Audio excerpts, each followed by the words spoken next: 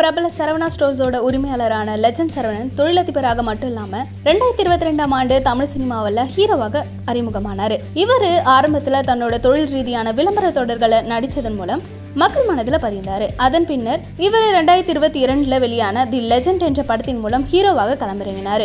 JD Jerry இந்த படத்தை இயக்கியிருந்தாரு. இந்த படம் எதிர்பார்த்த அளவில் வெற்றி பெறவில்லை என்றாலும் மக்களிடம் கலவையான விமர்சனத்தை பெற்றது. இந்நிலையில லெஜண்ட் சரவணன் அடுத்த படத்தில் நடிக்கிருக்காரு. இந்த படத்தை ரீசெண்டா சூரி சசிகுமார் நடிப்பில் வெளிவந்து மாபெரும் வெற்றியடைந்த கருடன் திரைப்படத்தை இயக்கிய துரை செந்தில்குமார் இயக்கியிருக்காரு. இதற்கு முன் துரை செந்தில்குமார் கொடி காக்கி சட்டை போன்ற வெற்றி படங்களை இயக்கியிருக்காரு. லெஜண்ட் சரவணன் நடிக்கும் புதிய படத்தோட படப்பிடிப்பு இன்னைக்கு தொடங்கியது. படப்பிடிப்பு தளத்தில் எடுக்கப்பட்ட புகைப்படங்களை படத்தின் இயக்குனரான துரை செந்தில்குமார் தன்னோட எக்ஸ் பக்கத்தில் பதிவிட்டிருக்காரு. அதில் லெஜண்ட் சரவணன் முற்றிலும் மாறுபட்ட தோற்றத்தில் காணப்படுறாரு. தாடி மீசை மற்றும் கையில் கண்ணோட காணப்பட்டிருக்காரு. சிவகார்த்திகேயனுக்கு காக்கி சட்டை எப்படி ஒரு மாறுபட்ட ஆக்ஷன் ஹீரோ திரைப்படமாக அமைந்ததோ சூரிக்கும் கருடன் திரைப்படம் ஒரு திருப்பு முனையாக அமைந்ததோ லெஜன் சரவணனுக்கும் இந்த திரைப்படம் அமையும்னு எதிர்பார்க்கப்பட்டிருக்கு.